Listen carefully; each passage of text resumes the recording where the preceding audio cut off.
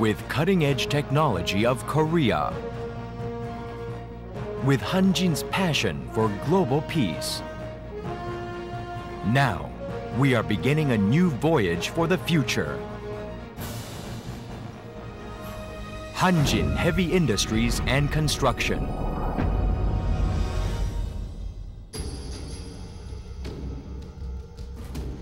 Now, more than ever, there is an urgent need for massive landing ships as a national level approach required to counter a possible natural disaster stemming from global warming. In order to minimize casualties of troop and amphibious equipment in landing operations, over-the-horizon assault capability using amphibious hovercrafts and helicopters and enlargement of hull platform are crucial for modern landing operations. Hanjin Heavy Industries and Construction boasts a military shipyard that has launched about 700 naval ships, including approximately 60 landing ships since the early 1970s, when it was nominated as a defense industrial company. We have built various naval ships from fast patrol boats to frigates, and landing ships from hovercrafts to LPH. With this expertise in naval ships, Hanjin has developed 19,000-ton class LPH for the Korean Navy and 55-ton lifting capacity amphibious hovercraft LSF-2 for LPH. And those ships were successfully delivered to the Korean Navy in mid-2007. Equipped with multiple functions of helicopter-loaded assault LPH, landing enforcement transport LPD, and command control LCC, the Dokdo is a state-of-the-art multi-purpose transporting ship and aircraft carrier type hull that has a flat flight deck and an island house.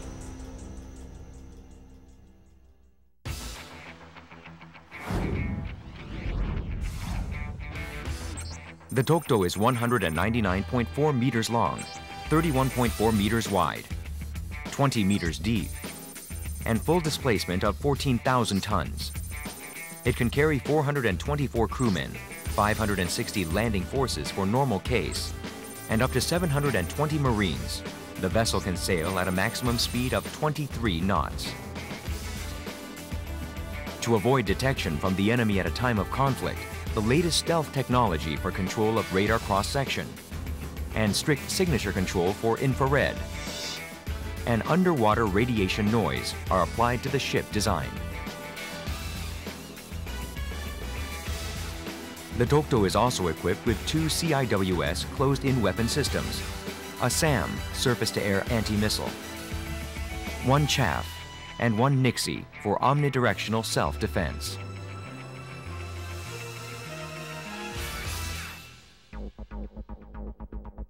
Four CH-60 class helicopters and one CH-53 class helicopter can land and take off on the flight deck at the same time.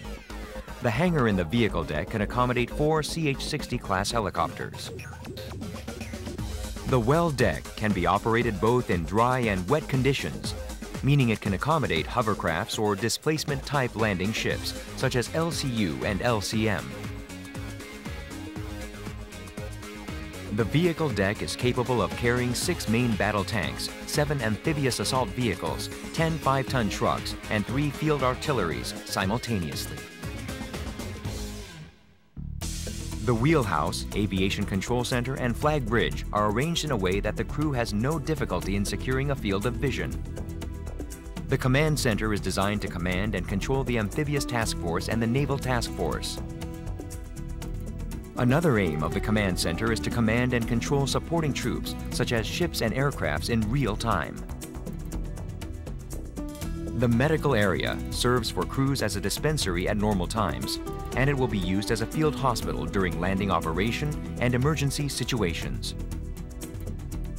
Facilities on the deck, two elevators for helicopters and side ramps are arranged so they could fully serve their purposes.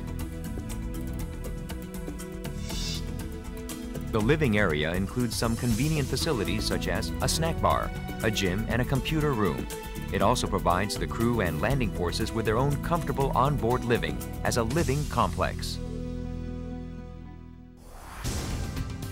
Two engine rooms have four diesel engines of rating about 10,000 horsepower and two CODADs. At low speed, two of the diesel engines are in operation, and four of them run at maximum speed. The most prominent feature of the Dokdo is its capability of over-the-horizon landing operation by helicopters and two amphibious hovercrafts on board the well deck, which is in the rear part of the vehicle deck. This shows the ship-to-shore and shore-to-ship operation view of two LSFs, which are intended to be loaded on LPX.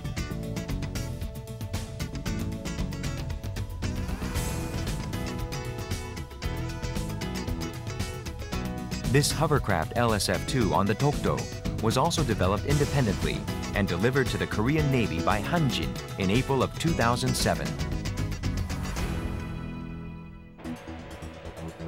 LSF-2 is an upgraded version of hovercraft LSF-1 with a 26-ton payload, which was developed by Hanjin in 1989 LSF-2 has a 55-ton lifting capacity to carry one main battle tank or two AAV amphibious armored vehicles. The buoyancy structure of LSF-2 is made up of aluminum alloy and rubber-coated fabric. Bag and finger-type skirt holds lifting state of the craft. The craft is 26.8 meters long, 14.3 meters wide at hovering conditions, 168 square meter deck size, and the full load weight is 155 tons. A fully loaded LSF-2 can run at a speed of more than 40 knots, is capable of 6-degree climbing, and passable to 1.5 meter high obstacles. The LSF-2 has a wide vehicle deck.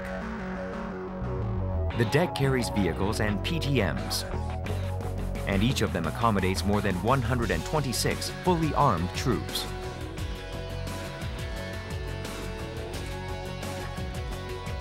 And there are lamps to help vehicles move without any difficulties.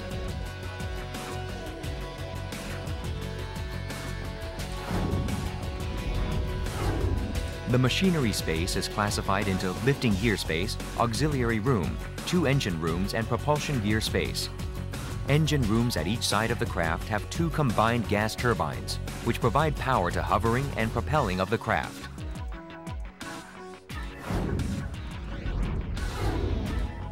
The aero propeller system consists of a propeller duct and variable pitch wooden propeller. The lifting fans are aluminum dual centrifugal type. The gas turbines, which provide power to propel the craft and make it hover, are installed in separate engine rooms in order to minimize the effect of possible damage to one of them.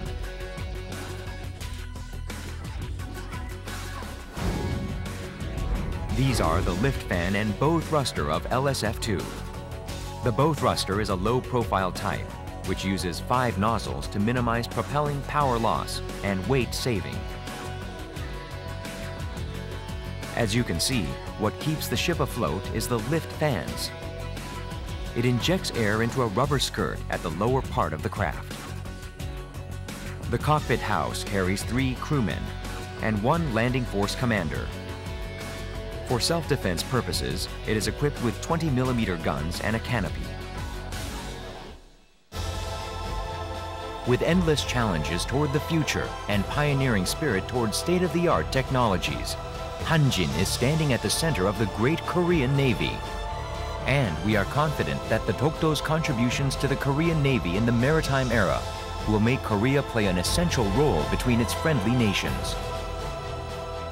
We are sure that the Dokdo will contribute to global peace by serving in refugee evacuation, peacekeeping activities, and other humanitarian aid provision.